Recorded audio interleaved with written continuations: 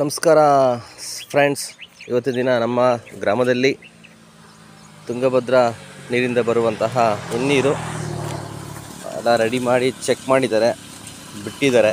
Already ಮೊನ್ನೆಲ್ಲ ನಮ್ಮ ಚಿತ್ರದುರ್ಗ ಜಿಲ್ಲೆ ಚಳ್ಳಕೆರೆ ತಾಲೂಕು ಗಡಿಭಾಗ ಹಾಗೂ ಪಾವಗಡ ತಾಲೂಕು ತುಮಕೂರು ಜಿಲ್ಲೆಯ ಗಡಿಭಾಗದಲ್ಲಿ ನಿರ್ಮಾಣವಾಗಿರುವಂತಹ ನೀರಿನ ಒಂದು ಫಿಲ್ಟರು ಅಂದರೆ ಕೆಂಚಮ್ನಹಳ್ಳಿ ಬಸ್ ಸ್ಟ್ಯಾಂಡಲ್ಲಿ ನೀರಿನ ಒಂದು ಫಿಲ್ಟರ್ ರೆಡಿ ಮಾಡಿ ಓಪನ್ ಆಗಿದೆ.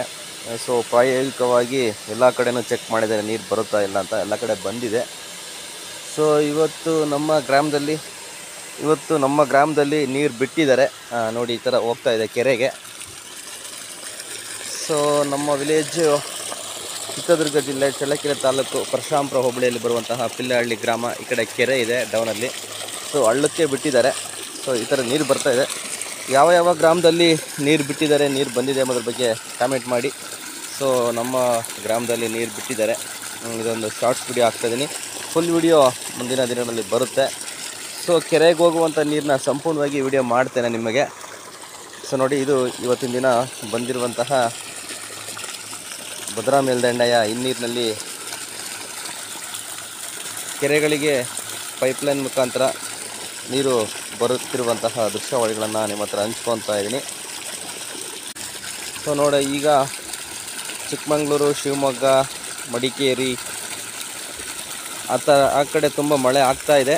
ಸೊ ನಮ್ಮ ಚಿತ್ರದುರ್ಗ, ಚಳ್ಳಕೆರೆ, ತುಮಕೂರು, ಈ ಕಡೆ ಬಳ್ಳಾರಿ ಸೈಡ್ ಮಳೆ ಇಲ್ಲ.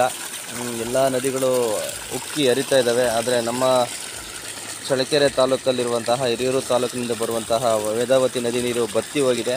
ಸೊ ಆ ಒಂದು ಕಾರಣಕ್ಕೆ ಕೆಲವೊಂದು ಜಿಲ್ಲೆಗಳಿಗೆ ಈ ರೀತಿ ಭದ್ರಾ ಮೇಲ್ದಂಡೆಯ ನೀರನ್ನು ಬಿಡುವಂತಹ ಕಾರ್ಯ ಸಂಪೂರ್ಣವಾಗಿದೆ ಅಂದ್ಕೊಳ್ತೇನೆ ಸೊ ನೀರೇನು ಬರ್ತಾ ಇದೆ, ನಮ್ಮ ಗ್ರಾಮಗಳಲ್ಲಿ ತುಂಬ ಖುಷಿ ಆಗ್ತಾ ಇದೆ. ಯಾಕಂದರೆ ಮಳೆ ಕಮ್ಮಿ ಇರೋದ್ರಿಂದ ಕೆರೆಗಳಿಗೆ ನೀರು ಬಂದರೆ ರೈತರು ತುಂಬ ಅದ್ಭುತವಾಗಿ ಬೆಳೆಗಳನ್ನು ಬೆಳೆಯಲು ಸಹಕಾರಿಯಾಗುತ್ತೆ ಸೊ ಯಾವ ಯಾವ ಗ್ರಾಮಗಳಿಗೆ ನೀರು ಬಂದಿದೆ ಎಂಬುದ್ರ ಬಗ್ಗೆ ನಮ್ಮ ಹಾಗೆ ಕಮೆಂಟ್ ಮಾಡಿ. ಆ ಒಂದು ಗ್ರಾಮದ ಬಗ್ಗೆ ಮಾಹಿತಿ ಕೊಡಿ. ಥ್ಯಾಂಕ್ ಯು ಈ ಒಂದು ವಿಡಿಯೋ ಇಷ್ಟವಾದಲ್ಲಿ ಲೈಕ್ ಮಾಡಿ ಶೇರ್ ಮಾಡಿ ಸಬ್ಸ್ಕ್ರೈಬ್ ಮಾಡಿ. ಸಂಪೂರ್ಣವಾದಂತಹ ವಿಡಿಯೋ ಮತ್ತೊಂದು ಮಾಡ್ತೀನಿ ಸ್ನೇಹಿತರೆ. ಕೆರೆಗೆ ಹೋಗುವಂಥ ನೀರು. ಥ್ಯಾಂಕ್ ಯು ಧನ್ಯವಾದಗಳು.